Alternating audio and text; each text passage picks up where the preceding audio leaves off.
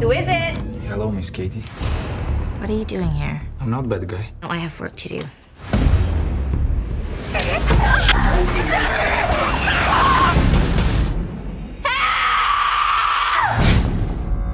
Hold still. What do you want from me? We all have our vices, eh?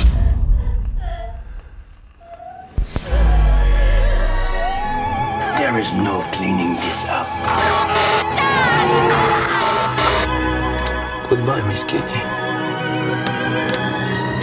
Let me die, please. Here now.